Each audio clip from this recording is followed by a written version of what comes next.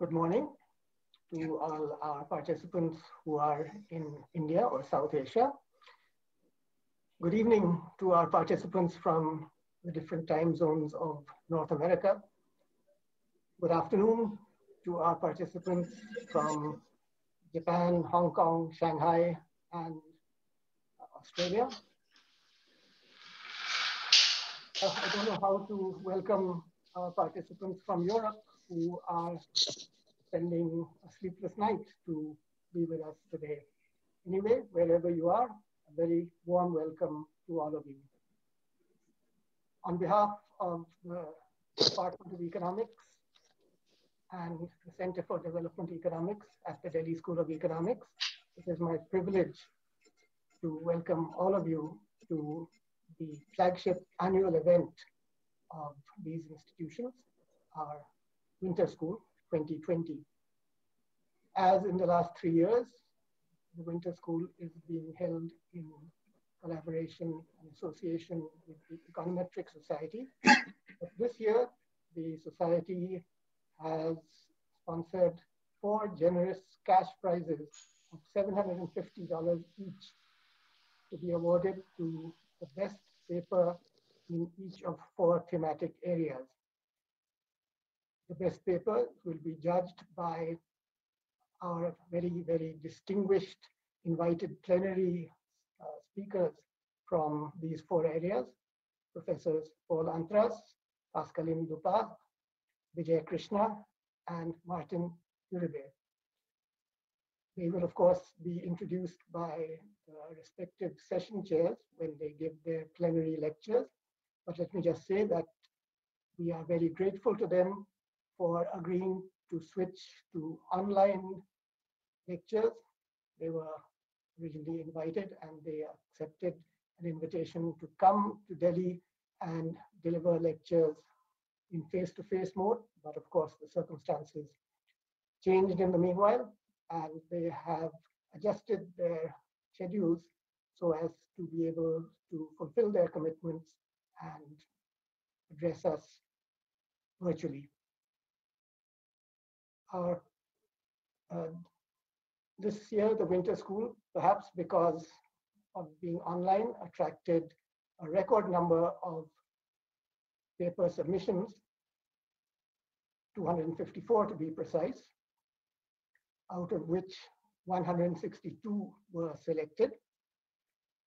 And these contributed papers will be presented in six parallel sessions every day over the next four days.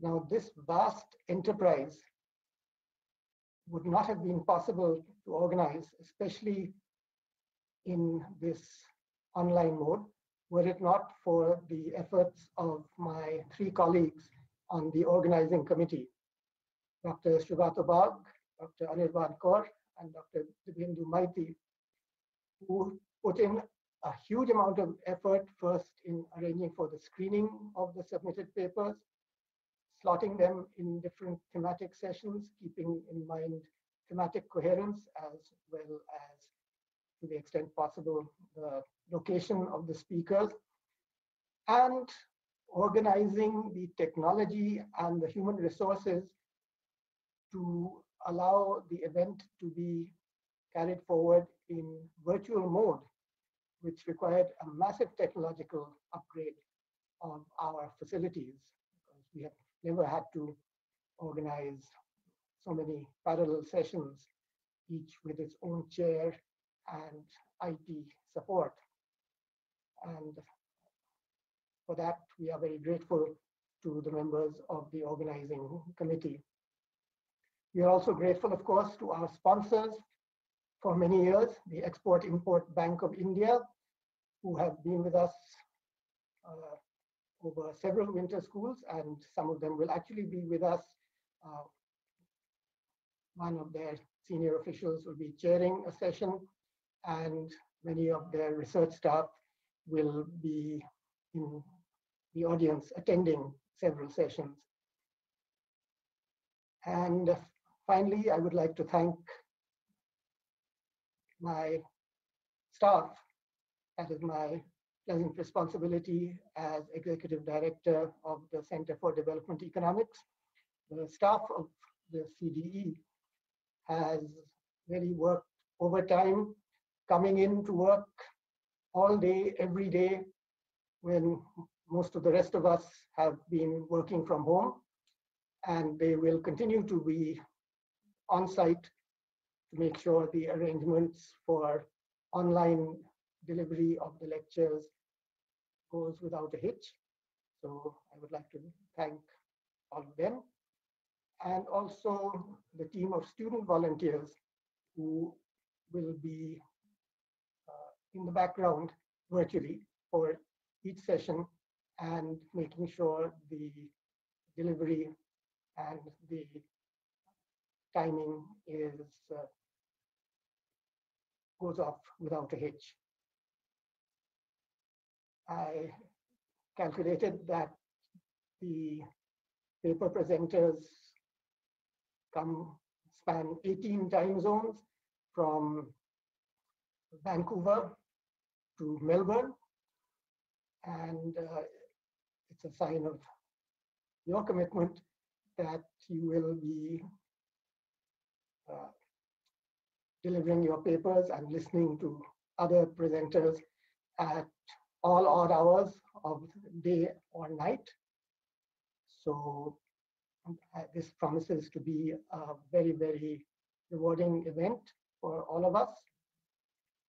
Before I conclude, let me uh, acknowledge that there is one aspect of our winter school which we could not replicate in virtual mode, and that is the conference lunches and coffee sessions on the lawns of the Delhi School of Economics, which are usually at their best in the December sunshine. Uh, I'm not sure we'll get it this year, but uh, that has always, that kind of informal interaction on the sidelines between the speakers, especially the distinguished plenary speakers and the young researchers, has always been a wonderful opportunity to interact more informally and to gain their insights that unfortunately could not be reproduced in virtual mode, nor could our conference dinner at a heritage uh, hotel nearby. But let me hope that in years to come, many of you will be able to join us when we go back to our standard format and enjoy these aspects of the winter school as well. So without any further delay, let me not uh, push the first plenary session, which will be a lecture, first of three lectures by uh, Professor Pascaline Dupas, joining us from Stanford. And it will be chaired by my colleague, Professor J.V. Meenakshi. Over to you, Meenakshi. Uh, thank you, Aditya. It is indeed my great pleasure to introduce Professor Pascaline Dupas of Stanford University.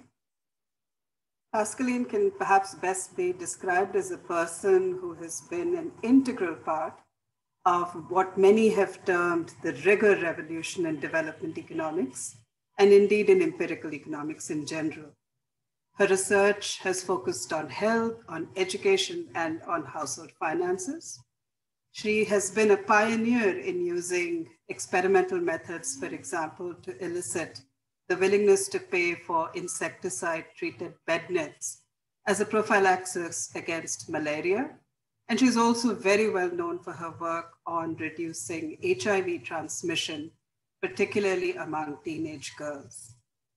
Some of her current work looks at whether and how decentralized targeting of welfare subsidies can improve not only efficiency, but also ameliorate poverty.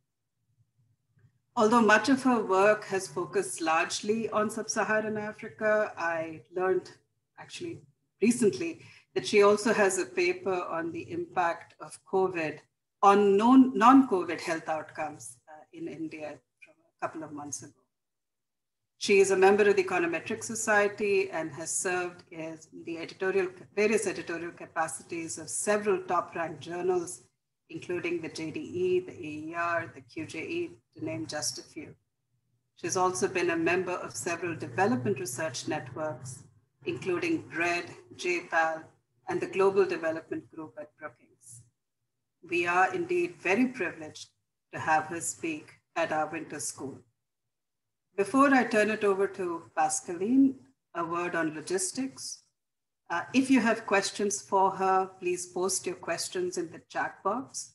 I will not only chair this session, but serve as moderator and unmute myself and interject your questions at the appropriate moment. So please be patient. And as time permits, perhaps at the end, we can open it up. So I request all of you to be on mute mode so that we have minimal dis disruptions and certainly turn off your videos. And with that, I'll turn it over to Pascaline.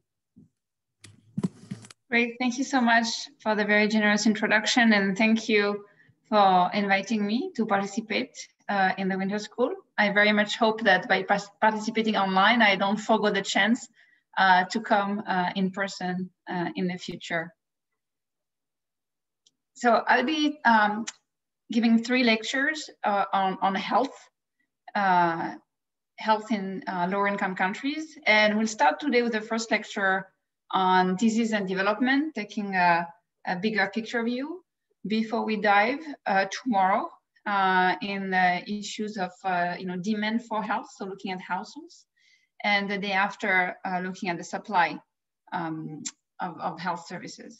And as uh, actually mentioned, I've actually started working on health issues in India uh, four or five years ago now with Radhika Jain, um, who is also a postdoc uh, at Stanford. And uh, uh, in, in my lectures tomorrow and uh, on, on I mean, I guess Tuesday for me, for you, it will be Wednesday, uh, I, will, I will touch on that work. Um, but today we'll take a, kind of like a, a, um, a bird's eye view to get going um, and I'm going to share a map that you are all very familiar with, I'm sure, which is a map of uh, GDP per capita. Uh, that's from you know 2016, but it wouldn't look that different if I um, you know a, a, different year. And what I want you to notice is a very well-known fact that most countries that are you know, deemed lower income, so the red um, countries, are located in between the two tropics.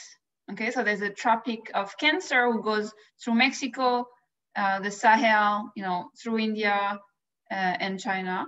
And there's a tropic of the Capricorn that goes right um, by the uh, tip of Argentina here, um, Southern Africa, and, and through Australia. And so most countries that are low income are located in tropical, um, in between the two tropics. And, uh, you know, almost all of the countries who are not um, who, are, who are high income are outside of the tropics. Okay, so the very simple question we're going to be trying to answer today is whether there's something about the tropics that makes it harder for countries to grow. Um, and, and we're not going to be looking at that question exhaustively because there's a whole aspect of that question that would be answered uh, by looking at uh, the climatic conditions and how they matter for um, agriculture, uh, um, you know, soil um, and uh, other agricultural potential. So we're not going to be talking about that today. We're going to focus on one aspect through which the tropics could make it harder to grow, which is the disease burden. Okay. There are a whole bunch of diseases. There are a lot of tropical diseases. Uh, some diseases are not just tropical, but they do better in the tropics, if I may say. So you've heard of malaria, um, the yellow fever, dengue, Ebola, you know, Helminth, sleeping sickness, many other things with names that are increasingly complex to pronounce. So I'm gonna skip the pronunciation and just let you uh, read the slide. And uh, if you look at you know, the correlation between GDP per capita and a measure of health, uh, which is life expectancy at birth, you know there's a, there is a very, very uh, strong positive uh, correlation, okay? That's called the Preston curve, okay? So, you know, the, the, the, the longer people live in a country, um, the richer that country is. Um, you can look at other measures of health. This is uh, anemia. Um, on the left axis, on the, uh, sorry, um, y-axis here, you see the percentage of women who are not anemic. Okay, so it's like, uh, you know, the, the, the higher the number, the better off the country in terms of health. Um, and on the x-axis here, it's the log income per worker relative to the US. Um, and, and so the, the more on the right you are on that scale, um, the, the more productive you are. And there is again a very strong positive correlation. Yet another measure of health would be uh, the percentage of babies who are, you know, low birth weight. Um, you know, the, the poorer you are, the more babies are born with low birth weight. Okay, so you can take pretty much any uh, health measure that you want and look at the correlation with GDP and it's gonna be very, very strong, okay? That's across countries. Now, also within country, there is co-movement of health and income, okay? So in fact, in the US, the mortality hazard declines with income and with education. It's actually hard to know, you know, what's the, the role of income versus education. Um, also in the US, life expectancy actually um, is becoming increasingly uh, greater for the rich compared to the poor. Okay, so the gap is growing between rich and poor within the US, okay, uh, in terms of life expectancy. Raj Chetty has done some work recently on this and all the data is available at this website. Now, in low income countries, this you know, co-movement of health and income is even greater than in high income countries. Uh, in fact, the under five mortality is more than twice as high among the bottom uh, quintile of the income distribution within a, a poor country uh, compared to the top quintile. And that's true even within urban areas. So that's what you can see here. In sub-Saharan Africa, for example, the mortality rate per thousand live births that was for the period 20, 2005, 2013. Uh, the urban poorest had a mortality rate uh, that was very high, uh, almost 120 per thousand live births. That's 12%. Okay, that's extremely high. Um, and that's you know twice as much um, as the, the richest 20% in the urban areas. Okay, um, and and you see this uh, same ratio even in the, the, the the problem is not as, as bad in terms of sheer, you know, absolute numbers, but the ratio between the poorest and the richest uh, is very similar across uh, the other continents as well. So obviously the question is which way does the causality go? Is it that when you have uh, more income, you're better able to afford good health? Or is it that when you have good health, uh, you can generate more income? And obviously the answer is, well, it must go both ways, okay? Um, health uh, likely matters for productivity and, and health is a normal good, so it's gonna uh, rise, uh, rise with income. But it's helpful to think about, um, you know, the evolution of, of income and health over the very long, um, you know, um, run to think through, um, you know, how to, to, to, to start thinking about you know, disentangling this two-way relationship between uh, income and health. Um, so prior to the Industrial Revolution, there was actually very little long-term change in average health. There is, you know, considerable short-run variation. There were periods that were extremely bad. So the Black Plague, uh, you know, that a lot of people have talked about the Black Plague recently because COVID has like brought back um, some of the historical, uh, you know, um, uh, analysis of the Black Plague, uh, a third of you know, the European population uh, arguably died during the Black Plague. Um, so that's, that's, you know, that was um, a period of extremely um, bad health outcomes. And then it went back to, you know, some sort of normal, which was not much better than it was before. Okay, so there was not, really not much uh, change. Um, and in fact, gaps across countries were quite small no country was kind of doing well uh, health-wise. And then uh, there was a kind of a takeoff uh, of health in Europe and its offshoots um, in the 19th century. By offshoots, I mean the uh, countries where Europeans settled um, during colonization. We'll go back uh, to this issue a little bit later. Um, so in the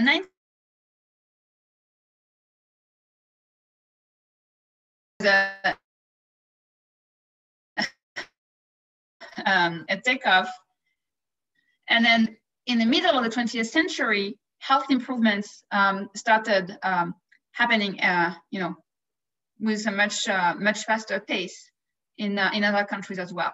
Okay, so the trading countries uh, began seeing faster improvements in health compared to the leading countries, which means that there's been kind of a convergence in the last 50 years in terms of health, which has been much stronger than the income convergence. And so this timing, what does it tells us? Why did I want to go back a, a thousand years to think through this? Well, it's because this timing suggests that there's a very important effect from income to health, okay?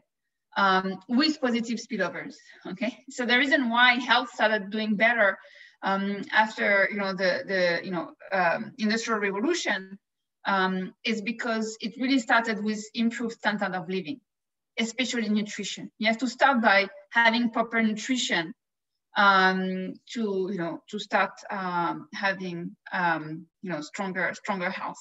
So that's what happened in Europe um, after the Industrial Revolution. Uh, households started having more resources; they were eating better.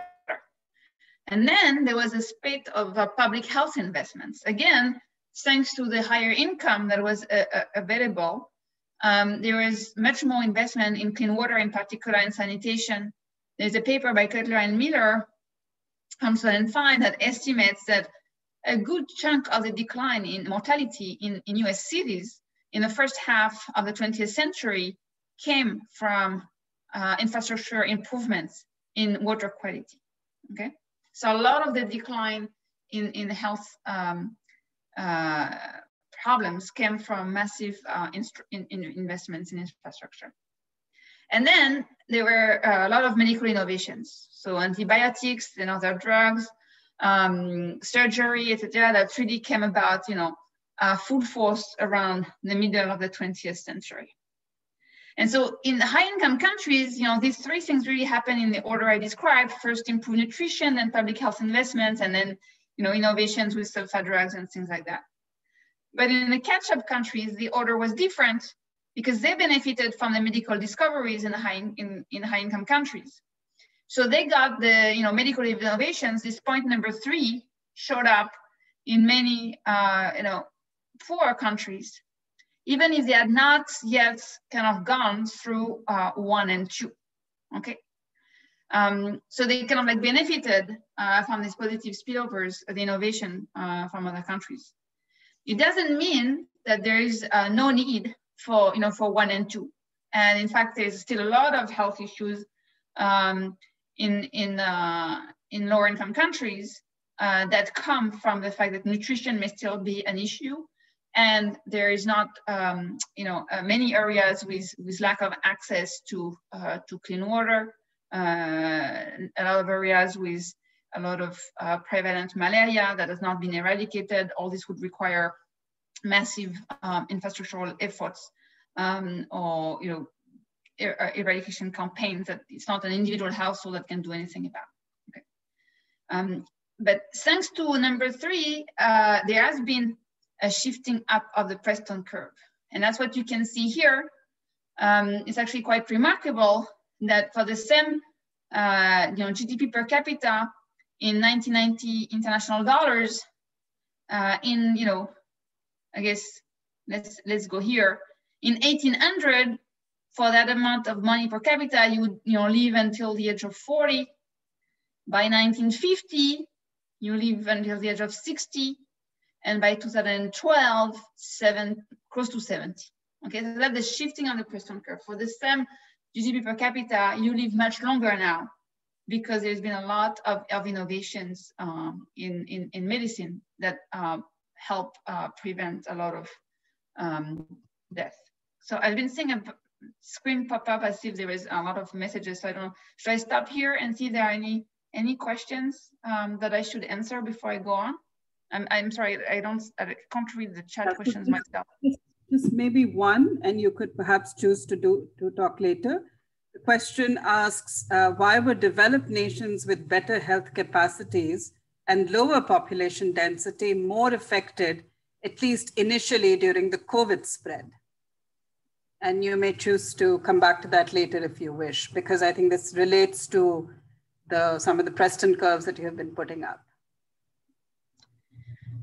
Oh, I mean that's I think that the, the, the that that I mean the question is um, uh, is not quite related to what I was talking about. I'm happy to to try. I mean to provide information about that. I think the the the, the you know the main reason why um, you know if the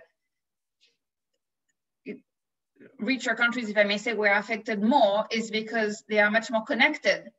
Um, so there are many more flights going from China to Europe or from China to the US every day than there are flights going from China to um, any country in Sub-Saharan Africa.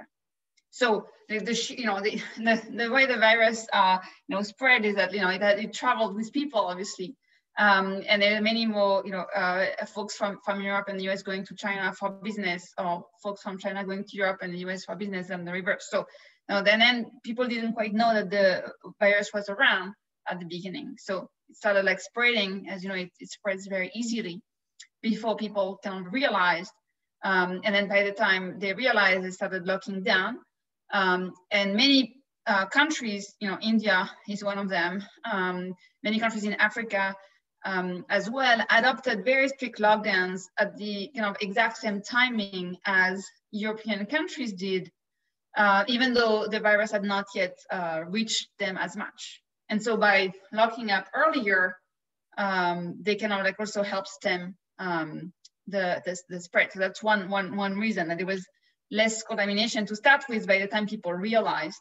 Um, and so the you know lockdown was kind of like happened earlier.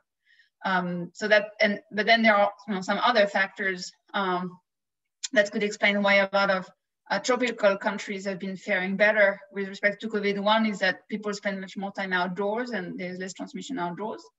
Uh, the other one is that the population is much younger, considerably younger. And we know that young people are um, less likely to face um, severe versions of COVID or to, you know, um, to, to die from it. Um, and now there's also some um, seroprevalence studies that suggest that uh, people may actually have been somewhat uh, better immune against COVID because of prior exposures to other, you know, re related coronaviruses.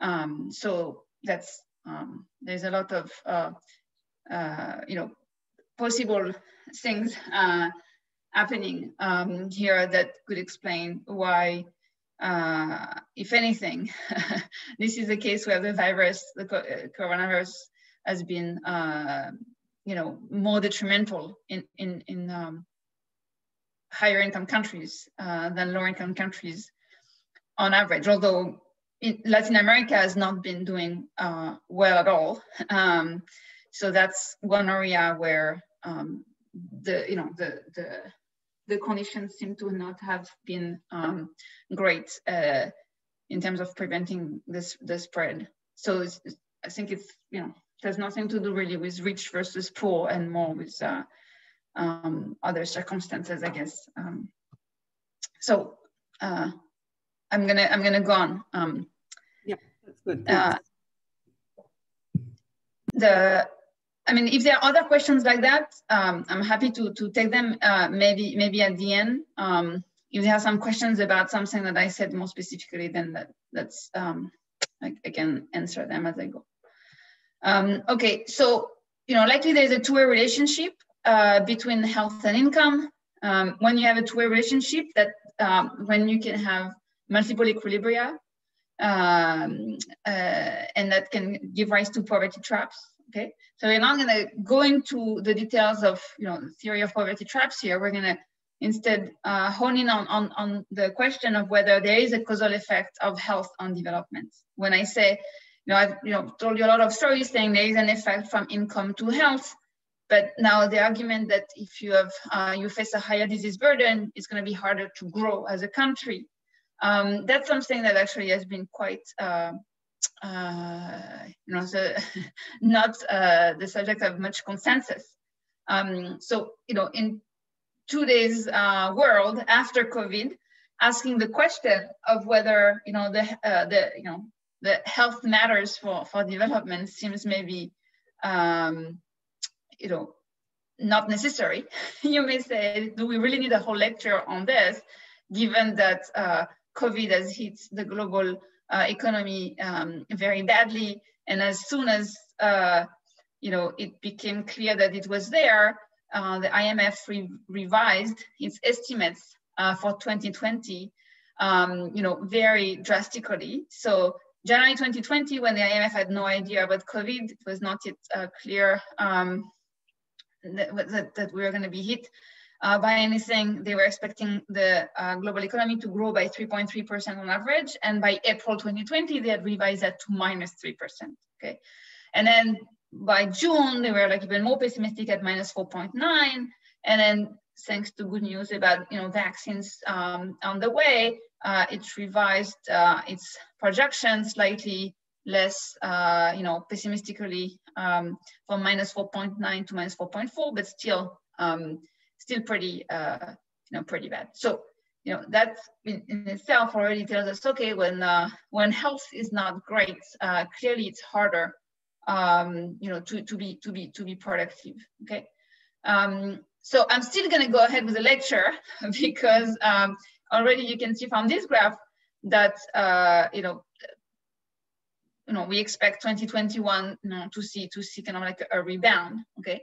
Um, and so, you know, people may say, well, COVID-19 was really exceptional, and then uh, we don't expect um, it to have uh, a, you know, an effect on on uh, growth in the in the long term. Um, and so, I still think it's worth um, going through uh, the reason why, even you know, you know, before COVID, uh, it seems to me pretty clear that the disease burden um, matters for for for growth, and that having uh, facing a worse disease burden can be a fundamental cause uh, of lower economic growth. Okay. So the first thing to think about are the mechanisms. You know, what are the mechanisms through which um, a high disease burden could matter for growth? There are many obvious things. If you know you were uh, in an amphitheater uh, uh, with me, I would uh, pause and ask you to you know volunteer um, all the mechanisms that come to mind. Uh, unfortunately, we are not in that situation, so I'm going to have to go ahead um, and you know give you the the, the, the, answers as we go, but obviously there can be a direct effect of disease on productivity, which, you know, this direct effect, effect itself can have multiple forms. First, you know, when you have a greater disease burden, uh, it actually contributes to poor nutrition because many, um, you know, diseases can actually eat whatever, you know, food you're eating, um, you know, um, lead to anemia, things like that. Um, that lowers productivity.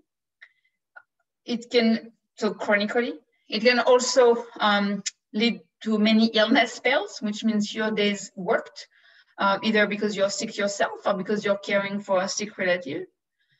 Um, there can also uh, be an effect of the disease burden in terms of your potential, your productivity potential once you're born through exposure in utero. So there's a lot of literature showing that exposure to diseases in utero or in early childhood reduces your endowment, both physical and uh, cognitive. And so that, that also uh, gives uh, lower productivity. And then on top of those you know, direct effects of this on, on productivity, you're gonna have an indirect effect um, that's gonna come through uh, the lower levels of investments in education, okay? So when you have a high disease burden, you spend you know, quite a bit of money on, on healthcare, that reduces the income available for investments in education um, and other you know, aspects of production. You also have, if you, you know, you face a high disease burden, uh, you face a shorter life expectancy, often that may reduce the returns to investing in education. You know, uh, for those of you who are you know, still in, in graduate school, um, you know, you, think of, okay, you may be, you may be, you know, 28, 29, by the time you graduate from the PhD, you may be 30. If you your life expectancy was you know, 45, would it have made sense to be in school until you're 30? Uh, probably, uh, probably not. Obviously, there's you know, education is also a consumption good. I'm sure you're having a lot of fun uh, sitting through these lectures. Uh, you know, sheer joy of education, but nevertheless, typically we think of education as an investment. If you can't reap um, the benefit of your investment over a long time, um, you don't invest as much.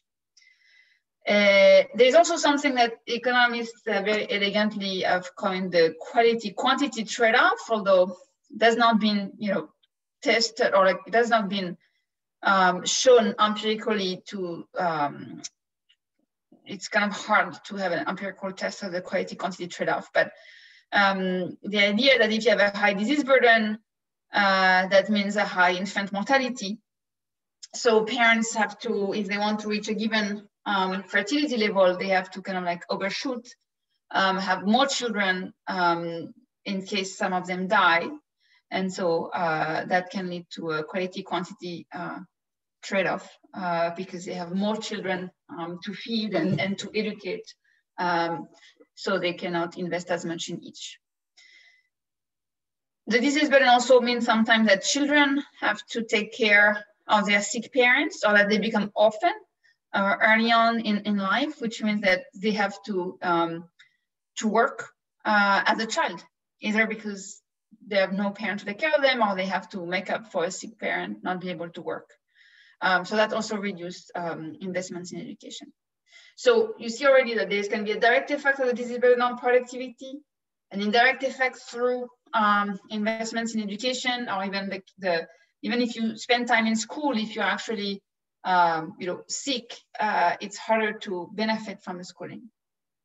And then on top of that, uh, you're going to have much less um, investments in infrastructure. Uh, many fewer businesses are going to come uh, if you have an unhealthy workforce. Uh, why? Because um, think of you know the uh, the CEO of you know Nike thinking about where to um, you know source their next uh, batch of t-shirts from um, they're probably not going to be super excited at the idea of going to a country that still has a lot of malaria and where they feel like the absenteeism of the workforce is going to be high because of malaria. Um, and if they themselves go and want to visit the factory, they are going to be at risk of getting malaria. Okay, so it, the disease burden can deter foreign direct investment. That's maybe the most um, you know obvious place where that's going on. Maybe sub-Saharan Africa, which uh, is a continent where you know the GDP um, growth between 2005 and you know, 20, 2018 was actually uh, you know higher on average than the world average. So Africa was was growing faster than the world during that period of time. Um, you would expect capital to flow flow to the countries um, where the returns are the highest, but that did not happen. The share of Africa in the world FDI um, is, you know, is very low, uh, very, very low and remains very low. And, you know, in part, it's because um, of the fact that uh, the disease burden is uh, keeping uh, investors uh, at bay. Um, it also keeps tourists at bay. Okay, so you're less likely to benefit uh, to get income from tourism if you face a very high disease burden. Um, and you may in fact have people leave. You may have more out migration of those who can afford to leave, uh, which means you have fewer resources in country. So think of like the brain drain. That's something that people often talk about. Um, you know, if you you go get educated um, to another country, likelihood that you want to come back to your home country may be also lower um, if the disease burden in, in your home country is such that now you're worried um, for, for yourself um, and your family if you come back. Um, and then the last, uh, I mean, yeah, um, this is actually, I'm sure you, you guys came up with some extra mechanisms. This, this is not exhaustive, it's already, uh, you know, uh, quite a number, but there are, there, are, there are more and some nuances on, on what I've just said. But one that I want to take a little bit more time on is the fact that when you have um, a high disease burden, in particular for communicable diseases, then that may lead to the adoption of social structures that reduce disease transmission. Okay, and that's a mechanism that you're all, you know, uh, intimately uh, familiar with now that we've been uh, under COVID-19 uh, restrictions for nine months. Uh, if you uh, reduce uh, interactions, if you enforce social distancing, you have less transmission of viruses. Okay. So if you're a community that faces or a society that faces a high disease burden and that's communicable, you're gonna have a tendency to kind of like avoid um, mingling as much. And that may deter diffusion um, of new technologies and restrict restrain economic development. So that's a point that was made by uh, Fogli and Veldkamp um, in a paper called Germ Social Networks and Growth. And they have um, this schematic, um, which I think are, are very um, useful to just like show the extent to which this matters. So they compare what they call a collectivist society to an individualist society.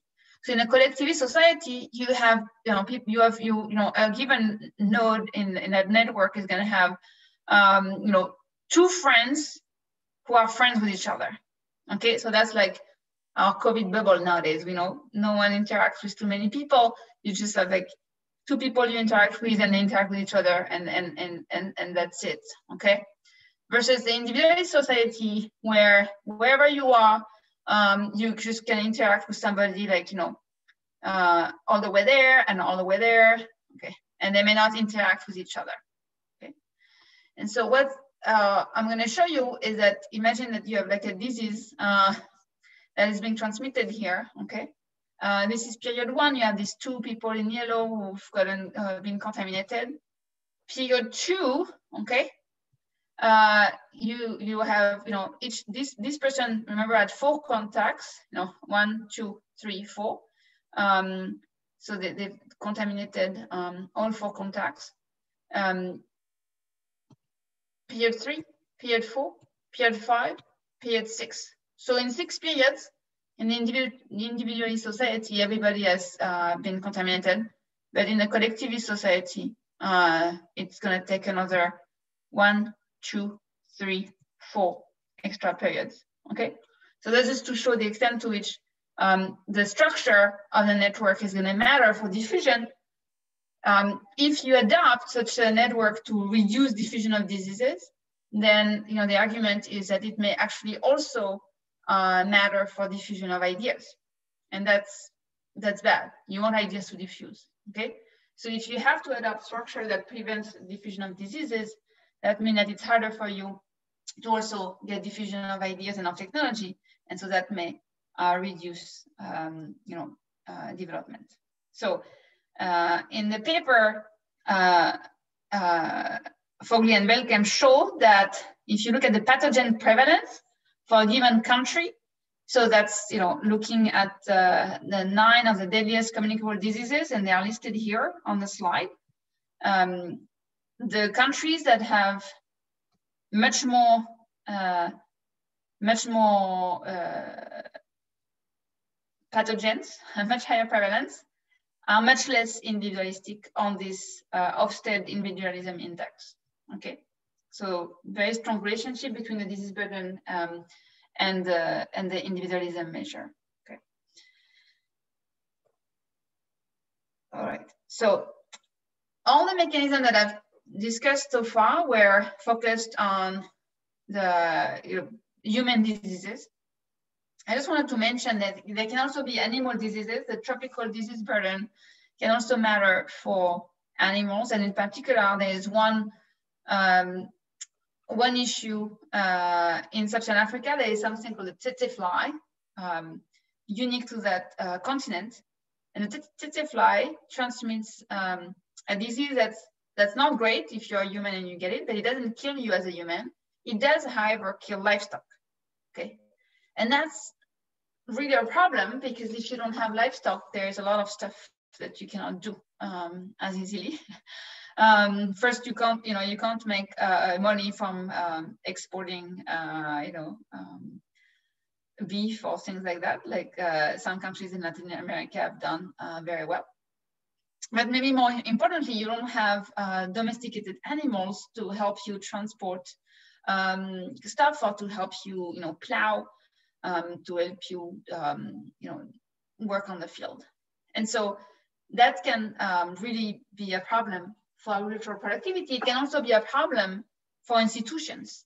Um, so there's this very nice paper by Marcel, Marcella Alsan uh, that looks at this, and she shows that there is a very strong, uh, you know, relationship between uh, suitability to the tsetse uh, fly as measured by um, historians. Um, uh, and she you know, unearthed some interesting uh, maps um, and uh, levels of development uh, today. I don't, I'm not going to show you the detail. This is kind of just like the eyeball metric where you just compare, uh, you know, these areas with a lot of tsetse, and these are the areas in Sub-Saharan Africa that do the worst. Obviously, she does a much finer job in the paper. She looks within a country um, and finds a relationship. Okay. Um, but what's very interesting is that the, the mechanism may not just be through the fact that animal diseases prevent you uh, from uh, doing using you know animal traction um, in, in, in, reducing the productivity. It also means that you need to go for an alternative to animal traction. If you cannot use bulls to do the hard work, uh, it turns out that you may have used um, slaves. And so what Marcella shows is that uh, greater um, uh, presence of the tsetse fly in the pre-colonial period uh, was correlated with higher use of indigenous slavery.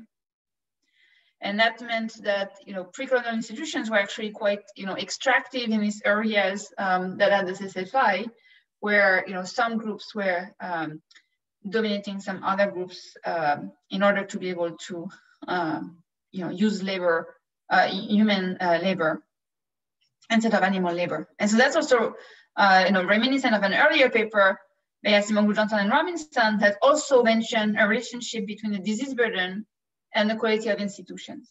Okay, in, in their paper, uh, you know, it's a very well-known paper, so I'm sure you know of it. Um, they show that the disease burden at the time of colonization determined where Europeans settled en masse uh, and where they only sent a few people. And that determine which institutions were established. Why? Because if you only have you know a few people um, and they're uh, on the ground with the goal um, of extracting as much as they can um, of the local population, then you need to establish institutions that are going to be extremely extractive, where you restrict decision making to a very small um, elite and you exclude everybody else from decision making and from um, income access to income versus um, in, in areas like in the, you know in the, the US and Canada and Australia where the Europeans settled, um, obviously it was terrible for the indigenous population, which was essentially decimated um, uh, in, you know when when the Europeans settled. But then the, the Europeans um, wanted institutions that were inclusive, where everybody had access um, of, uh, know, a, way of accessing decision-making power uh, and income, okay? And so that's, you know, in their paper says the disease burden predicted the, you know, potential mortality of European settlers, which explains whether they were settlements, which led to better early institutions. And then because there was a institutional lock-in, um, these same countries that had better early institutions also have better current institutions, okay? And so interestingly, the Acemoglu Johnson Robinson paper, they are you know pro-institution. They write their paper saying this is really institutions that, that do matter. Um, the reason why some countries are doing very badly is because they have the wrong kind of institutions, and we can show you the effect of institutions on on on, um, on growth because we instrument institutions quality with this uh, European settler mortality. And I like to think of it uh, a bit differently and say, well, you know, what you're telling us is that the disease burden um, that was there um, at the time, which is still highly correlated with the disease burden today, explains institutions um, that were chosen. And so ultimately, it kind of all comes goes back to the geography and the and the, and the disease burden. Okay. So uh, I'm gonna maybe pause here and see if there are questions. Yes, two two right now, Pascaline. Yeah. So first uh, asks, uh, aren't all these mechanisms linking health and growth presupposing that growth happens through labor. So what happens if growth happens through capital augmenting technology? That's the first one. Um, a second asks um, that collectivism is often associated with being more socially conscious, especially in a closed society. So in the case of a communicable disease, people may consider it a social responsibility to contain the spread say for by using masks, and that could be a factor contributing towards a slower diffusion of communicable diseases in a collective society, an argument that would hold over and above the network-based argument that you presented. So would you be would you comment on on sort of the the extent to which that argument would be valid? Um, so uh, so on the on the first one, um, the I mean the to the extent that the you know capital is going to be complement with labor, um, the capital owners will still prefer to go to places where the you know labor is going to be uh, uh, you know healthier, I guess. And so that's what I was trying to say when I was saying that there's not as much FDI uh, foreign direct investment going to Africa as you would think, um, given the you know GDP growth that they have experienced. Like this puzzle as to why capital is not actually flowing um, there. And so I, am like conjecturing that the you know health disease burden may be part of the part of the story. Um, but you know it's, it's the I agree with you that if you if you don't need uh, labor in any way uh, and it's just about capital, um, then you know the health will matter. But it, it seems like there are many you know capital is by itself um, is never going to be uh, is never going to be enough. So even if you you know you're going to need to have still um, you know, transportation, um, and so you need to have you know to be able to to build the you know the the road networks, the railroad networks to be able to you know transport um, the, the, the, the, capital and all of this is going to require um, some, some manpower. Um, but, you know, the, the, and it's kind of, um, if you have no, um, no need for, for labor, also it's not clear that the, you know, the population uh, in poor countries would benefit from growth at all um, if um, if, if it was, um, if a lot of the technology was, uh, you know, labor saving. So in terms of thinking of the well-being of the household, I think it's important um, to also think of all the other uh, activities that um, they could do uh, that would increase their income. And uh, the second question about collectivism. So I'm not sure I understood the question fully. If um, the argument is that, well, if you're a more uh, collective society, you are going to adhere, you're going to adhere to prevention guidelines more. So you're going to be more likely to wear masks. Um, then that would mean that you would even be even more protected from diseases as a collective society than you would be um, just from the network. So fine, absolutely but that doesn't, uh, the argument I was uh, making based on Fogli and Veldkamp was that um, if you have um, more, you know, a bunch of tight-knit communities that are isolated from each other, that that's when, you know, ideas, innovations don't, don't, don't diffuse. So if you're saying we don't need to have tight-knit communities uh, to protect ourselves from communicable diseases because we can just wear masks, then okay, that means that this channel um, through which the disease burden could matter for uh, development through diffusion of ideas being slower is would, would not be there. So that's fine. I, I was making uh, uh, the potential connection. I don't think that there is actually necessary evidence for this mechanism.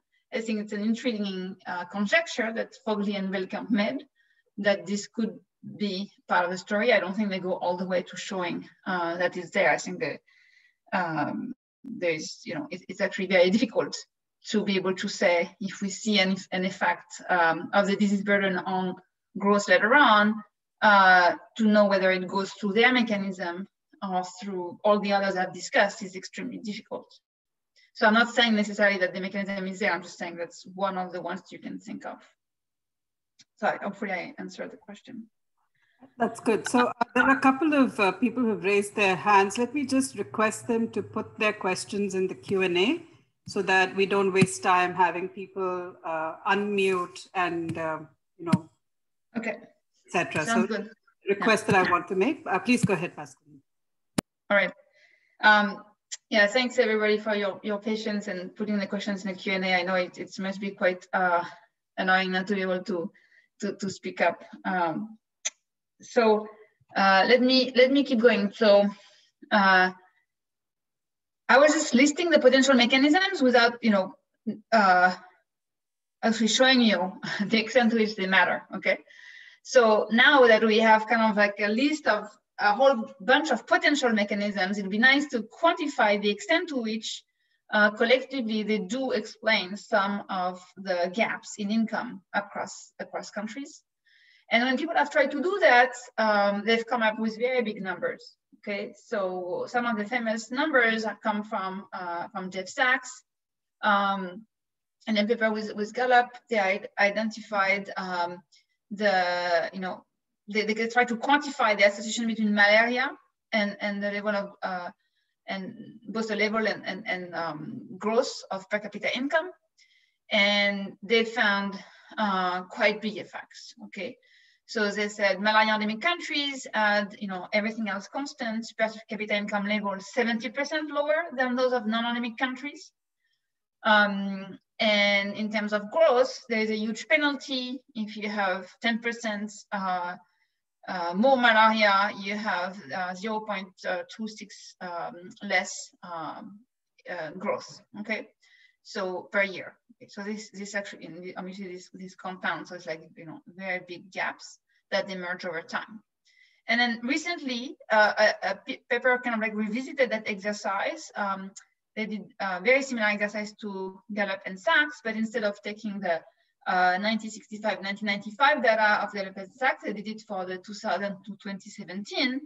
And they uh, exploit the rollback, rollback malaria efforts, uh, which was um, you know, the huge effort to uh, expand access to insecticide-treated net nets throughout the African continent uh, since uh, essentially the 2010 um, or so. And uh, so they can estimate, you know, country, um, they can have country fixed effects in their model. And they also find quite large, uh, a large malaria penalty. If a 10% decrease in malaria incidence is associated with an increase in income per capita of nearly 0.3% on average um, and a 0.11 percentage points faster per capita growth per annum. Okay, so it's not as big as a 0.26 of uh, Gallup and Sachs, but still quite uh, big, um, extra 0.1 percentage points uh, per capita growth per year um, if you have 10% um, less malaria. Okay, now obviously, so that's you know that's those are the very strong relationships that they observe, row and then after um, controlling for a whole bunch of stuff. So obviously the trouble with these, um, you know, uh, estimates is that uh, you have reverse causality. Okay, we started with that. You know, um, tropical uh, diseases remain more prevalent uh, in countries that are less able to uh, get rid of them. Okay, so it's very hard to isolate the effect of health on growth because you also have an effect of growth on health. So what I want to do with you today, uh, now in the time we have left, uh, which is about 35 minutes, is to look at studies that try to go around um, this reverse causality problem, uh, try to go also to avoid omitted variable biases, both the micro and the macro studies. And the typical approach that these studies have taken uh, has been to take uh, a look at large-scale targeted campaigns. Okay, so that's kind of like what the the, the Samaritan study I just mentioned um, was trying to do uh, with the rollback malaria campaign uh, in Sub-Saharan Africa, although in that, that context, it's, it's, it's not obvious that you can say that it's not the countries that were already doing better that were better able to implement that. Okay, so instead, uh, we're going to try to look at uh, campaigns that were uh, done in such a way that uh, it's easier to claim that nothing, uh, nothing else was happening at the same time. And so there's a, a series of papers um, that uh, were done in the in the late around 2010 or so that looked at historical efforts to combat malaria. So just a bit of history for those of you forgot, uh, in the south of the US, actually there was a little bit of malaria uh, of the Vivax um, type, not falciparum like in Sub-Saharan Africa, but the um, vivax parasites. And malaria was eradicated from the south of the US um, in the 20s. Um, and that was, uh, that's actually why the CDC is based in Atlanta, Georgia. Uh, the CDC was um, created to eradicate malaria initially. And then after World War II, there was a push to eradicate uh, malaria uh, from other uh, parts of the world. Uh, those efforts stalled at some point, but they um, started in um, a number of, they, there was quite a bit of efforts in Latin America, um, in, um, in the like islands, um, also Trinidad and Tobago, Sri Lanka, things like that, and also in India. And so we're gonna uh, talk um, about one of these papers in particular by Hoyt Bleakley that looks at both uh, the Americas, both the south of the US and Latin America. But the approach he has is very, very similar to some other papers that looked at these other countries I mentioned, including uh, India. And you know the, the results overall paint um, a pretty clear picture that when you eradicate malaria, you see um, relatively big changes in uh, educational outcomes for children um, and they become more productive um, uh, than, than previous cohorts um, in the same country. Okay, and so the, the identification strategy of the empirical method that all these papers are going to adopt uh, is called the diff in diff estimation strategy, difference in difference. I'm sure you're very familiar with it. To do a diff in diff, you need two uh, dimensions. Um, so the uh, two, two differences. So the first one is going to be time. Um, and you can look across birth cohorts, so people were born before versus after uh, their eradication. And the second difference is going to be space, so across regions, uh, areas where there was very little malaria to start with uh, versus areas that had a lot more malaria. And so the expected gain from eradication is going to be differential across uh, these areas. And so for, for, for these different strategies to kind of like be viable, you need the eradication to be rather swift. You need something to be like, okay, very rapid, um, so that you can say, well, I'm gonna be safe um, comparing across um, across cohorts to some extent, uh, because there is not that much that could have happened over that um, period of time. So in the US, this is mortality per 100,000. Malaria was definitely not as bad there as it was um, in, or as it is currently in the uh, in Southern Africa. So there were 14 deaths per 100,000 people um, in 19, you know, 15 or thereabouts. And then by the 1930s, it had gone to very small numbers. Um, and in, um, in Colombia, it's a different metric that uh, Bleakley has. Cases notified by 100K, uh, 100,000 people, he has much higher, 600 um, in the you know 55 when the campaign starts and then it goes down quite rapidly also uh, within you know 10 15 years uh, it goes down a lot. So that's you know this is the context in the americas in these different countries. It's not at the same exact period in time but within each country you can clearly uh, see you know cohorts you know that were um, you know before after about like 10 years in between. And so you know the idea is that if you were born uh, you know not yet born by the time the eradication campaign started, um, then you know you were you were not exposed in childhood. If you were born before the campaign started, um, then you were exposed to malaria in childhood. And if you were uh, born during the campaign, then you were exposed a little bit, but not very much. Okay, um, and so that's you know that's the the the uh, gonna be uh, you know, we're going to be expecting to see that um, the effect of malaria in a given context is going to be, you know, detrimental for these folks, uh, but not for these folks. Okay. And so in the south of the US, there was variation in the intensity of malaria to start with. Uh, likewise, here is in Brazil, and so that's what uh, Bleakley exploits for the for the diff. Um, and uh, what he finds is that uh, if you were born um, you know, after uh, you know their eradication campaign had taken place, then being born in an area that had a lot of malaria uh, doesn't give you, you know, any penalty. But if you were uh, born before, being born in, a, in an area with, um, with malaria um, gives you a penalty. Okay, so this is the idea that being born in an area with malaria makes you uh, perform worse. Uh, only, you know, when there is malaria there, when it's been eradicated, it's gone. Okay. So now the key question is, what is this outcome on the y-axis? And it's going to depend on the country uh, a function of the data that's available. So in the US, what Bleakley uses is um, you know, the census, and the census actually doesn't have much. It doesn't have education level, for example. It doesn't have, and it has occupation. And so what Bleakley does is um, what historians often do, which is do an occupational income score, kind of like guess how much money people were making based on what we know from history, um, uh, based on their occupation, okay? For uh, the other countries in his study, Bleakley as Brazil, Colombia, Mexico, uh, he has uh, you know other outcomes, in particular educational attainment, um, and he finds similar patterns that all face a penalty uh, in the areas with more malaria for the cohort that was born before and none for the cohorts born, born after eradication, okay?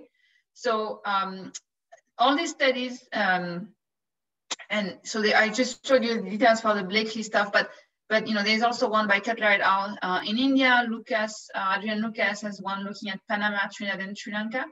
Um, and uh, they do like very, very, very similar exercises. In fact, all three papers are published in the same issue of the AJ Applied. Um, and they all find similar patterns saying that when you eradicate malaria, it actually helps uh, quite a bit. Um, now, they don't go into the mechanisms because they just have this historical uh, data. So you may ask, well, what is it that makes a difference?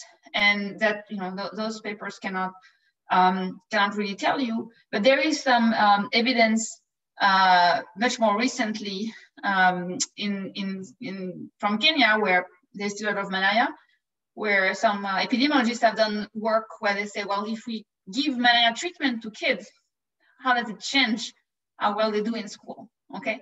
And so that's a study that did um, what's called in, uh, intermittent, intermittent presumptive treatment. They would go to the school and treat kids, um, you know, every every four months for for a year or two. So okay, we are we expect you to have a lot of parasites in your um, in your body, so we're going to treat you uh, even without like you know testing you. And in fact, they find that it makes a difference if you treat kids presumptively in the treatment group compared to the control group. They saw, um, you know, a, a, decline in the likelihood of being anemic. So this is um, the hemoglobin level that I'm plotting here. Um, so there was a shift to the right of the hemoglobin uh, level distribution. So the treatment makes make kids less likely to be anemic. Um, as a result, um, they are better able to pay attention in class. So they did tests of class-based uh, attention so it would be, for example, here, if I stopped and quizzed, you know, if I could quiz some of you, cold call on some of you and check that you can tell me what I was talking about three minutes ago, that would be a test of attention, just an attention.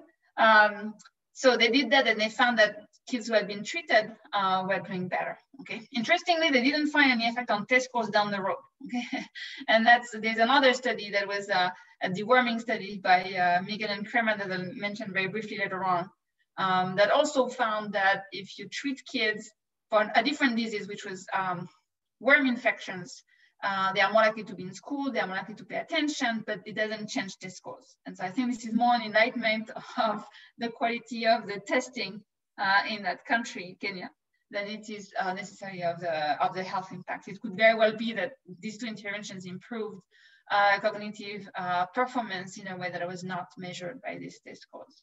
Okay, so where, where are we?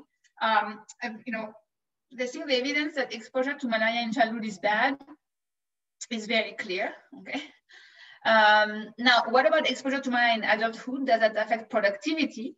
Um, I, am pretty sure it does, uh, but surprisingly, there is no good quality direct study of this. There's been a number of folks trying to do RCTs, trying to uh, look at that, but actually pretty difficult to do an RCT because you'd have to kind of, either you treat people for malaria, not some others, but then, you know, you still have to measure their productivity, which is, um, which is hard. Um, in, especially in contexts where most people are doing uh, farm work. So these, these two studies have, have, have, kind of not really nailed it. But obviously we have the historical account, um, the Panama Canal story, which is, you know, uh, being from France, uh, myself, I um, know all too well that when the French tried to build the Panama Canal, in the late um, 19th century. They failed miserably and uh, killed, you know, countless of uh, people in in, in Panama because they were trying to get uh, them to um, dig and, and build a canal, even though uh, malaria and and dengue were, um, you know, doing a lot of damage. And it's only after uh, people understood that malaria and dengue were transmitted through mosquitoes uh, that was in the early uh, 1900 um, when uh, a British doctor, Major Ross, who actually won the Nobel Prize uh, in physiology for this discovery in 1904, um, found a malaria parasite in the belly of a mosquito that it became clear that uh, if you wanted to get rid of uh, malaria, you had to get rid of, of, of mosquito, mosquitoes and drain um, drain swamps and stuff like that. And so by then the French had given up. Uh, but then with this new knowledge, uh, the Americans um, took over. Uh, and before they started trying to build the canal itself, they started by, you know, er, uh, getting rid of the of malaria and dengue essentially in the area before they could build the canal. Um, so this is, you know, uh, obviously uh, historical evidence, but I think it's it's it's, very telling uh, of how difficult it is to build, you know, big infrastructure when you have uh, a very high disease burden. And then if you just do household surveys in, in many uh, tropical um, countries and especially uh, uh, countries with malaria, uh, endemic malaria, you're gonna find a lot of days of work lost to illness, okay? So even if there is no um, amazing study that quantifies exactly the health, the, the you know, economic uh, impact of malaria in adulthood, I think the number of days lost to malaria um, is pretty uh, is pretty clear. So I have talked a lot about malaria, uh, but other diseases are there and they matter for productivity. There was a study by Duncan Thomas and co-authors, the Y study. Uh, it's not published, unfortunately, but um, it, it, had found um, from 2005, it had found very big productivity impacts of iron supplementation uh, in Indonesia. HIV, obviously, if you are not, if you have, if you have HIV that transforms into AIDS and you don't get treatment, your productivity plummets. Um, but that you know was a huge problem in in most of Southern Africa for for quite a while. Uh, tuberculosis, which is still very prevalent in a number of countries, you know, including India. Um, that's not great by any stretch of imagination. That's actually very bad. Um, there's a very recent paper by Bütikofer and Salvanes, um, just published in Aristad, that looks at the campaign to um, really reduce uh, TB in Norway, uh, the beginning of the 20th century, and it's show very big impacts, especially on the education of, of poor children. Uh, you have, you know, warm infections that are very prevalent in many areas as well. They can really prevent kids from uh, feeling well and from paying attention in school. Um, that's the Miguel and Kremer paper I mentioned briefly before. And Hoyt Bleakley, the same one who did the malaria work in the US, also has a paper looking at the effects of worm eradication campaigns in the US as well, and also find um, effects on education. Okay, so I can go on and on. There's a lot of such micro studies that are kind of very well identified that establish uh, big effects of um, improvements in health on improvements uh, in educational attainment and productivity. Now, we have to go back to the macro level. what are the macro implications of all of these micro estimates? Um, you know, the, in the Bleakley uh, paper, he actually estimated that childhood infection decreases adult income by 50%, okay, which is um, which is kind of big. So if you do a back of the, the envelope calculation, you say if malarious uh, countries have childhood infection rates of about 60%, and assuming no uh, G effect, then you would get um, a, a, GDP effect of malaria of like 30%, okay? That would be the, you know, saying malaria would account for 10 to 15% of the gap between Brazil and the US or Mexico and the US. So that's actually much smaller than the gap from Gallup uh, and Sachs, okay? Um, and that could be because they are looking at different types of malaria. Um, in the US, in the Bleakley estimates, in, in the Americas, it's a vivax parasite versus falciparum in Africa, and falciparum is much worse, much worse in terms of both morbidity and mortality. Uh, as I mentioned before, there is likely, uh, you know, reverse causality and also omitted variable biases in the Gallup and Sachs estimates. So maybe Gallup and Sachs is overestimating. Uh, maybe Bleakley is underestimating uh, for Africa. Um, but again, this would be, you know, looking at just one disease at a time. There is a paper by Galasso et al., a World Bank policy paper that calculates the economic cost of stunting and how to reduce those costs. They do a lot of calculations. It's on the slide. Um, for the, you know, in the sake of time, I'm gonna um, you know go through quickly. But essentially, they estimate that there's a per capita income penalty of around seven percent due to stunting. Okay, and this penalty is greater in Sub-Saharan Africa and South Asia, where stunting is very prevalent. And they say that there's around nine to ten percent of GDP per capita, um, uh, you know, lost due to um, to stunting. Okay, so how do we aggregate across these things. Um, you know, we can try to do back of the envelopes to get a sense of, okay, what share of the gap in income between, you know, high and low income countries come from, you know, gap in uh, the malaria? How much of it comes from, you know, stunting? How much of it comes from, you know, TB, HIV, stuff like that. But, know, what do we do then? Um, you know, do we add all of this up? Um, well, no, we don't want to add all of them up because obviously we don't want to double count, okay? Uh, we don't want to double count. There's, you know, you can think of it as being a competing risk uh, type of story. Um, if, you know, if you, you, the, the, the, the, I'm not gonna like, if I'm already sick from TB, um, there's no additional uh, loss uh, from being exposed to malaria or vice versa, okay? So you don't want to kind of like double count these things. Another big challenge we're going to have when we try to go to the macro implication of the macro estimates is um, the possibility of GE effects, general equilibrium effects. Okay. Um, and in fact, you know, if you had been able to, you know, raise your hand uh, more easily, you may have said, well, hold on. In this that I just talked about, how do they deal with that? When they, when Bleakley does a diff and diff comparing the older cohorts uh, that were affected um, with malaria with the younger cohorts that are not, um, we have a problem here because maybe everybody benefits from malaria being eradicated. Uh, and so then we're like underestimating the effect. Maybe everybody is better off. Or conversely, it could be that um, these newbies who are arriving on the labor market in the US, uh, in you know having not gotten malaria in childhood, you know, in the southern states of the US, maybe they had an easy time because they were competing with an older workforce that had been affected with malaria uh, throughout their life. And so maybe it's easy to do very well if you're, you know, the only kid on the block. I mean, on the, you know, you're only a generation uh, who's, you know, kind of healthy.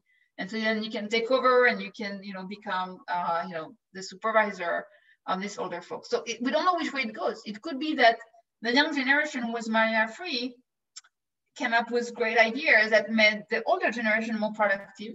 Or it could be that the young generation took the job um, of the older generation. So it's always kind of like tricky to know whether we are really picking up um, everything. So that's why ideally you want to look at macro estimates um, that take into account the equilibrium effects across generations and across diseases.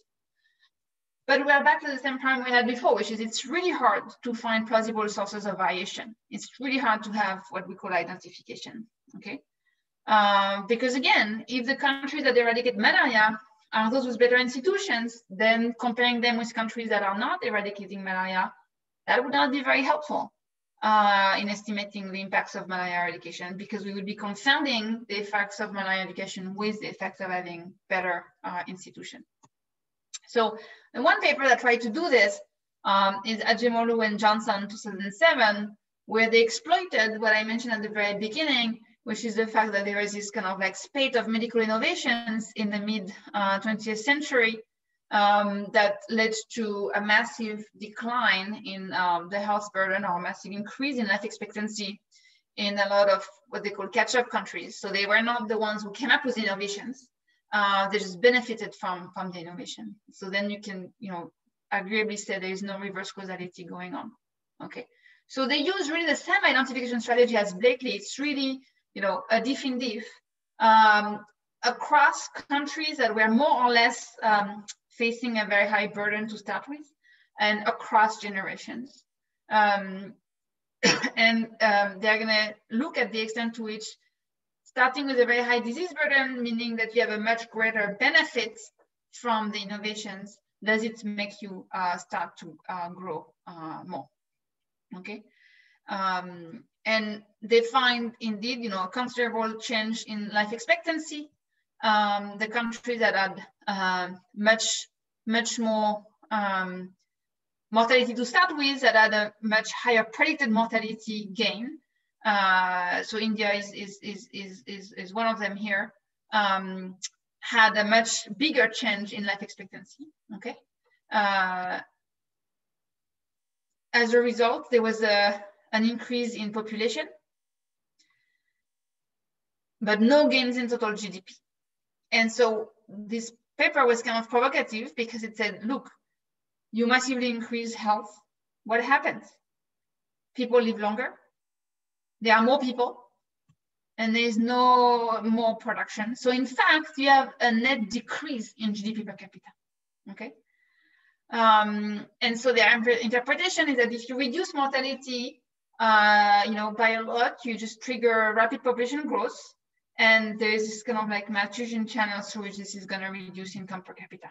Obviously, they don't claim that the epidemiological transition was not a good idea, obviously. There are big welfare gains from lives saved and suffering being reduced, but they say it doesn't actually help with growth. So their conclusion was like health has nothing to do uh, with, uh, with growth.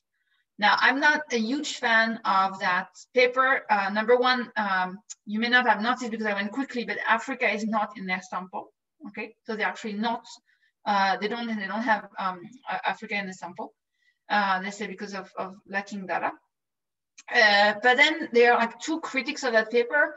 Um, one that says, no, but it, it doesn't actually work. You cannot say that malaria mortality in 1940 was exogenous. It was not exogenous. It was endogenous because the richer countries in 1940 were those who had been better able to afford vector control of, of mosquitoes and swarm clearance. So it's not true that the change in mortality that took place was uh, actually um, you know, uh, exogenous.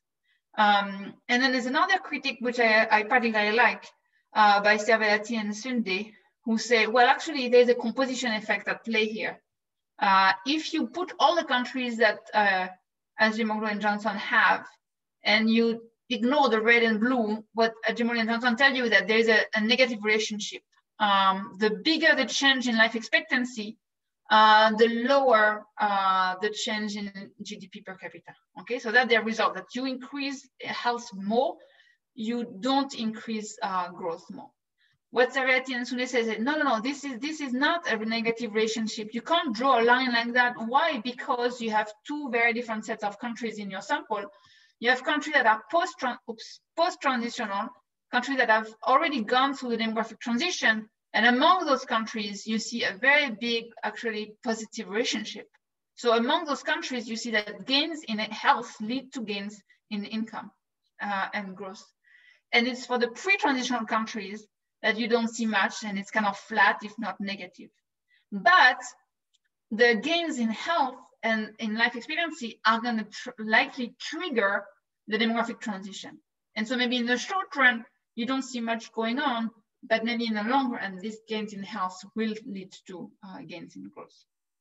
Okay, um, so in the end, you know, we want to have macro estimates of the effect of health uh, on, on income and growth, but it's just very difficult to have uh, anything at the macro level because it's not going to be well identified. Okay, so at least what we know from the macro studies is that there's going to be clear gains from uh, reducing the disease burden um, at the individual level. If uh, countries that still have malaria, they could eradicate it or control the disease. They would see clear benefits in terms of uh, children, um, you know, development. uh, likely also adults, uh, you know, number of days work and things like that. It's not obvious that these benefits will all lead immediately to higher growth. A lot of if a lot of the challenge is through child health, they're not going to take a while. Okay, um, and so and also a lot of the other examples I mentioned, like the you know children, worms in children, TB, stuff like that. A lot of this, the micro studies actually are able to document um, effects for you know children later in life, but so it means that there is maybe a delay of 20, 25 years between the time you do your health intervention and the time you're going to see impacts um, if it's through the children. Okay. To me, that means okay, then we we really have to think hard about getting rid of the disease burden as soon as possible because if it's going to take 25 years uh, for the impact to be there, we can't wait any longer. Um, but uh, you know, and so that's one of the things that I find the most frustrating is that malaria has not yet been eradicated from uh, the world. Um, and, and one of the reasons uh, why the effort that had started post uh, World War II kind of stalled after, you know, they did a lot of efforts in 1955 and uh, some of it was um, exploited by the papers I mentioned. Uh, but, but now people are not um, using DDT to do eradication because DDT is actually, you know, a, a, a pesticide that's bad uh, if it's used in agriculture. And there was a huge movement, now essentially the environmental movement, which you know is very important, obviously started um, in the 60s and Rachel Carson, uh, a Silent Spring, a bestseller book, was very influential in that. Um, you know, criticized uh, DDT in particular um, because when it's used on, on fields, it washes out into rivers and then um, affects the fish and that affects the birds. And so it's, it's and then so then the, the spring is silent. Um, and so DDT has essentially been banned uh, in the US and other countries. And so it's actually very difficult for countries to use DDT for malaria eradication, which is, which is really too bad because if you use DDT for malaria eradication, eradication, you don't actually use it outdoors, you spray indoors, okay? And so it's not at all clear that you would see any um, environmental damage because it's not like the rain is gonna wash out the DDT onto the fields, okay? So obviously there are some you know, other constraints, especially in Sub-Saharan Africa, it's like a huge landmass and eradicating it from the whole continent, it's gonna be quite uh, quite daunting. There is an effort ongoing. The UC San Francisco is actually trying to provide uh, support to various countries. There are two uh, malaria eradication uh, initiatives going on, one in the southern um, part of Africa and one in the Asia Pacific uh, region. And so uh, it's, it's not clear that with COVID, um, the efforts towards that have been uh, maintained, but obviously um, it's something to, to, to keep an eye on. But you may ask, well, if not eradication, at least control. Um, and so why not uh, a malaria vaccine? Okay, now that we know that it's possible to come up with a vaccine uh, against COVID in uh, just about nine months, uh, I feel like asking how come, uh, you know, more than 100 years later, we still don't have a vaccine for malaria. And obviously that's where, you know, the, the, the whole issue of incentives for R&D for tropical diseases comes uh, into play. It could very well be that it's never been uh, you know, a profitable idea to put in um, to do R&D for malaria vaccine because the very country and the very people who need it are not um, rich enough to pay much for it. Uh, now, for malaria, it's actually more complicated than that because it turns out that the malaria parasite is very, very tricky and, and, and uh, mutates. And so there has been some efforts towards um, searching for a vaccine paid for uh, in part by you know, the Bill and Melinda Gates Foundation and, and, and some others. And so there is some effort trying, but still uh, not at the same scale, I think, as it was for COVID. Uh, and there are many other diseases for which there is essentially very little, if not uh, not any R&D, just because um, the pharmaceutical companies have no um, interest in doing research for diseases that uh, only affect poor people. And so that's why there's a term that's called neglected diseases, the diseases that only affect poor people and that are neglected by um, the pharmaceutical world. Um, you may say, well, we don't actually need a vaccine because we can just use bed nets. And so um, we're going to talk about that uh, tomorrow uh, when we talk about uh, the demand for health and we're going to talk about household behavior. We're going to think about, uh, you know, what, what prevents the adoption um, of existing technologies to help control uh, disease at the, at the individual level. So I'm going to stop here. Uh, I'm actually glad that I did not go over time. We have only four or five minutes left for question. Uh, please uh, go ahead. I don't know if I should unmute people or maybe I'm going to stop sharing. Um, yeah. I think I, it's better not to unmute uh, because okay. I see a lot of questions in the question box. Okay. Um, and I, this probably, I'll go back to some of the earlier slides. Um, so the, I'm trying to group questions. So one okay. deals with, asks, uh, doesn't the extent to which disease affect investment depend on how prices adjust? If prices of resources fall sufficiently, then investment could be attractive. That's um, sort of the first question. Um, if you'd like to answer that, and then I'll. Uh, then the other question has to do with FDI. Um, again, uh, doesn't FDI depend on the local regime so that even if there are adverse conditions, tax regimes could make FDI uh, attractive? So, which, which relates to a similar kind of Um, I mean, so I'm not trying to make the claim that the only reason why uh, there is no FDI going to, uh, you know, Sub-Saharan Africa is because of the health burden. I think there are some other problems. Uh, there are some uh, other costs that are quite high, uh, especially energy costs and transportation costs are extremely high, transportation and, and energy. So, and then there's also, you know, uh, issues of, um, you know, the institu institutional capital is also low.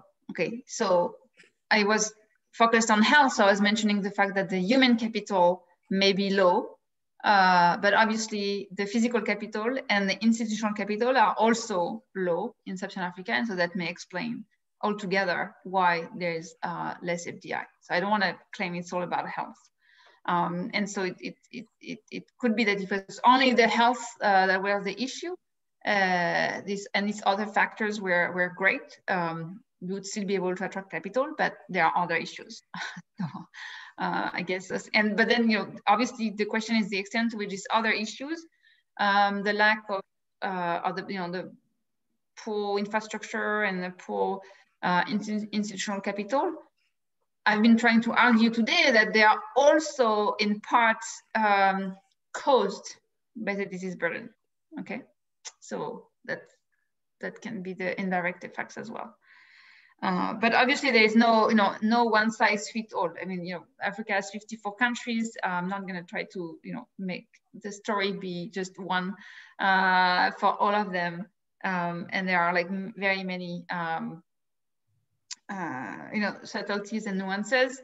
Um, so take everything uh, with that, uh, with that, with that in mind. I just think that in, think of it as being an argument that everything else equal if on, if you have worse health um, your workforce is more likely to be absent because of bad health um, you're less it's harder to attract capital um,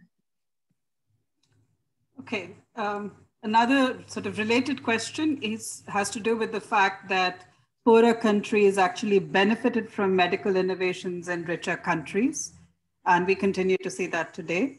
Uh, the question asks whether there's been any work on IPRs and the, their impact they have on the ability of poor countries to benefit. And there's some literature that suggests that IPRs enhance technological transfers from rich to poor.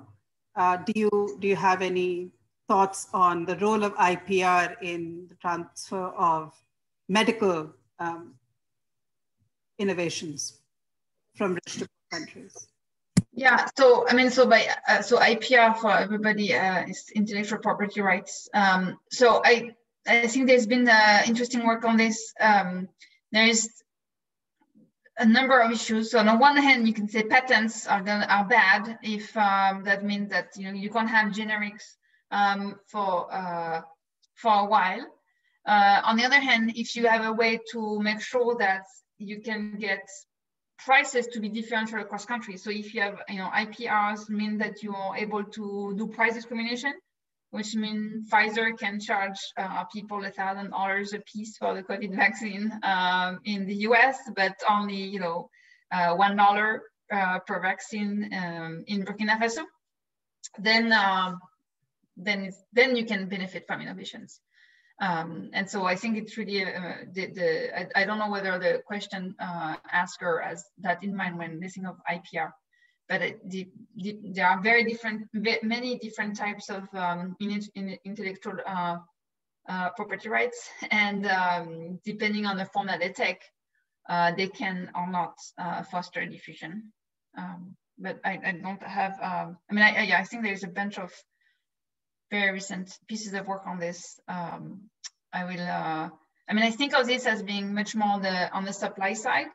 Um, so we'll talk about some of these issues on, uh, I guess, Wednesday for you and Tuesday for me when we talk about the supply um, of healthcare and health services. So um, there are a bunch of questions on COVID that maybe I will not take up at this time and, and due apologies for to those whose questions I'm not able to read out. Um, we just have a few more minutes. So the next set of questions um, has to do with whether uh, there have been applications of the quality adjusted life year types of methods to estimate the micro, macro level effects of malaria and similar disease. And I, and I guess by extension, the benefits of interventions um, as, as measured in the QALY uh, metrics. And um, related questions has, I think, to do with the synthetic control methods. Have these been used? Uh, for instance, there is a synthetic diff and diff of uh, Arkhangelsky et al., if I pronounced that correctly. That, that seems like a promising strategy. Um, then there's a question on effect of comorbidities I'm, uh, and how to control for this. I'm not sure what that is in reference to, but I'll, I'll uh, put those to you for now. Um, okay, so I before before I just want to mention something. Uh, before the I don't know who is in charge, but if it would be possible for all the questions in the Q and A to be saved, so before the session is closed, if somebody can like copy and paste them, I don't know if they are being recorded or somehow, that'd be very helpful. Then I could actually go through all of them and try to answer uh, the question that have not been answered uh, as I go tomorrow and the day after, um, since I know we are running out of time and also because some of this I actually am not um, I don't I don't know like the reference to the synthetic control paper. I actually do not know that paper so I'm happy to take a look at it. Um, uh, but I won't be able to answer the question now. Um, so please if you can just make sure to send me uh, whomever is in charge uh, the list of questions that'd be very helpful. Um, on the um, so now let me let me try to remember the, the other question that you mentioned. Yeah. So the yeah, so the comorbid the oh yeah, the QALYs, yeah. So the QALYs, so it's it's the QALYs is just a way to kind of like quantify the health cost. So to say this is, you know, we can quantify the disease burden um, as QALYs or DALYs or so this is like how many, you know, how many days of healthy life are lost. But then to the, the question I was trying to get at is to ये नहीं वो chat box में जो है उसको copy करके रखो copy कर कर लो नहीं तो चला जाएगा प्लीज म्यूट करके मुझे भेज दो what Dibendu please mute sorry go ahead. Okay um, so this DALYs and QALYs really to quantify the disease burden itself. Then how to translate that the DALYs and QALYs into dollar values? Um, in the health literature they they use you know the value of a of a, of a life. Um, but but that's very different from uh, what we are trying to, to, to do today, which is quantify the, you know, the, the productivity cost, okay? So we still have to know how we go from, you know, if you lose one, you know, if you have one day uh, of, of healthy life um, lost, what does it mean in terms of productivity? Which is different from what does it mean in terms of, you know, welfare costs because we value life. And in fact, on that, like is the value of a year of life a million dollar or or two million dollars or two hundred thousand dollars? It's it's uh-huh. very hard also to think through. Uh-huh. and then on the comorbidities, I guess, yeah, that's the other challenge that I was trying to highlight that whenever you try to quantify all these different things, um, you know, it's kind of hard to actually pin, pin things down onto one specific disease, okay? Because there may be uh, others as well. So that's another challenge in trying to um, to to do this aggregation. On করেছে মানে ঢুকাচ্ছে Um, I think with that, then maybe um, I want to just thank Pascaline for um, a really, really nice overview and um, context. And to say that we really look forward to your remaining two uh, lectures. A request, if you could perhaps share your slides. I think many participants yes. may, may would like would like to read that and um, to, to uh, look at some of the references there. And in yep. the chat box, we do have a link to the to this paper that, that you mentioned. So we'll share that with you. And we're trying to copy the questions and, and get it out to you uh, before tomorrow. So thank you very much indeed. And, and we all look forward to hearing you again tomorrow. Great. Thank you so much. Thanks again. Bye-bye.